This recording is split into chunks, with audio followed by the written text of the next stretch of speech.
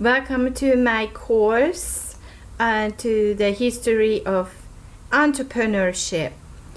This is video number one, and we will look into the concept of stewardship and discipleship. Discipleship is a frequently and most written about subject in my works. Please consider every blog post and podcast episode as a great resource to complement this course. Especially recommend a Disciple and Master, posted on May 29, 2015, and the one titled The Jesus Planner, posted on July 28, 2015. In today's world, the necessity of adopting to the battlefield is the greatest and gravest temptation even the most devoted Christians battle with it. This makes lifestyle our first and foremost important line of fire to maintain our integrity of faith and safety of our spiritual growth and expansion. Lifestyle has an impact on our level and depth of discipleship, but most importantly, discipleship has the same power on lifestyle in our lives if we allow it. That is most important to recognize that the motivation for discipleship therefore lifestyle uh, change have to be a deep recognized and rejuvenating love for christ himself as a person this love has to be the motivation for change and not change to be reinforced for the sake of change. That would most likely miss the mark eventually and backfire in the life and faith of the person forced by law and legalism into a lifestyle that is not inspired by a love relationship with Jesus. But also, tremendous importance is to see the value of the spiritual riches over worldly riches. While most people, with the best of efforts, scanning the world for methods of survival and even prosperity, have to divide their attention between their relationship with Jesus and their monetary work in order to do so. Even if many will pay their tithes and goodwill offerings on the date of due, it is attached with a sense of guilt because their minds have been in other areas of life. They have been so involved with workings of this world, they arrive to church out of habit and routine and just realized they have not spent any time with their Savior during the week. Reading your devotional does not necessarily exempt you from this experience. This separation of weekdays and Sabbath days tears the soul away from its very nature.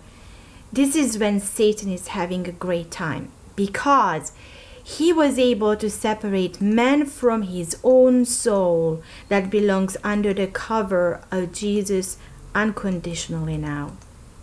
In the other hand, it really doesn't have to be that way. Work and labor being separate from man's spiritual orientation is a modern disease. It has occurred with the phenomena of making the workplace religion free. For both non discrimination reasons, cheap labor, lowering conflict at the workplace is a very strong one, and a growing number of workforce that consider themselves non religious. And that's significant today. Both places and work business organizations also started promoting teaching and expecting the respect of activities and involvement that emphasizes worldly values and the importance of worldly riches. It is not popular, not accepted, not allowed, and by today's standard, it is not even legal to take your religion with you to work or to school. It does not belong to places of business and barely tolerated even in humanitarian activities. Therefore, today it is nearly impossible to monetize in your business ventures if any kind of religious ties are audible or visible. I am making a statement, and I have made sure that none comes near my business without knowing they are going to deal with a highly and radically Christian project. I have made that statement so that none that does not feel comfortable with with it would feel it is their business to run my business.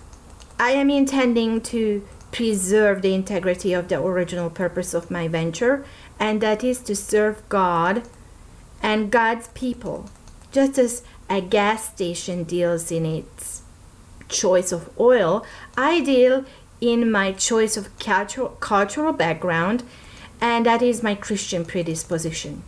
Everyone is welcome. They must need to know ahead of time what to expect. You see, I have decided I refuse to live a divorced life. I refuse to separate my soul's deepest convictions from my daily actions and personal accountability to my God for the consequences of my work. For maybe salvation cannot be acquired by works, but it is only faith that works can glorify the Lord. And without glorifying the Lord, man has no glory himself at all. My biggest question to you today is whether if you do glorify the Lord daily with your works of faith. Please read the following Bible verses and meditate upon them. Psalm 50, 15, 86, 12, and Isaiah 24:15. There is quite a few more mentioned at the end of the transcript of this video. And um, then please return to the downloadable worksheet titled Stewardship, Discipleship, Entrepreneurship 1. I have prepared this worksheet and, and you will find one at the end of every video for your personal study Print it out and work deeply to process those questions for yourself. Don't simply look for answers that you think are appropriate. I will never read it. There is no right or wrong answers. This is supposed to be a challenge in authenticity. Dig down into your soul and find your own expressions of your inner being. Then look for guidance in the Bible compare, contemplate, take the honest account, and grow. It is only you and the Lord having this dialogue now. And your full involvement is an absolute requirement if you wanted to make the most of this course. Blessings and see you in the next one. Aloha.